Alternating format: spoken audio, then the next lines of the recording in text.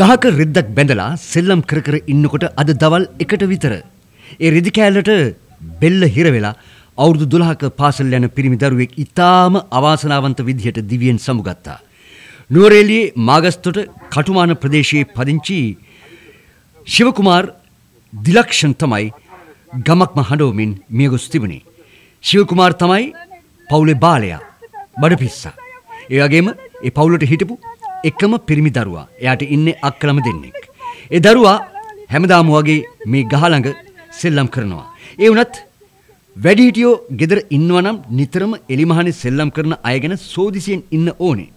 මේ පහුගිය ටිකේම අවුරුදු 8 9 10 12 වගේ ළමයි ඔන්චිල්ල පදිද්දී කොන්ක්‍රීට් කණු කඩා වැටිලා ගස්වල අවදානම් අතු කඩන් වැටිලා ඒ වගේම දෙමව්පියෝ තදින් බැන්නොත් ඒ චූටි දෙයට හිත් රිදවීම නිසා ඒ වගේ දේවල් වලින් ජීවිතෙන් සමුගත් අවස්ථා අපිට පහුගිය ටිකේම වාර්තා වෙලා තිබුණා.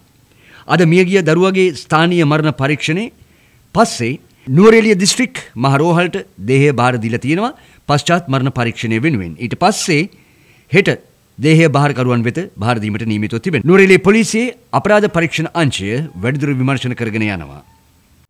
දසත නිවස් ප්‍රධාන පුවත් විකාශය සවස හයයි විසි පහට සුප්‍රීම් TV ඔස්සේ දවසේ දසත පැතිරුණු පුවත් ඇසිල්ලෙන් දැනගන්න දසත YouTube නාලිකාව සබස්ක්‍රයිබ් කරන්න.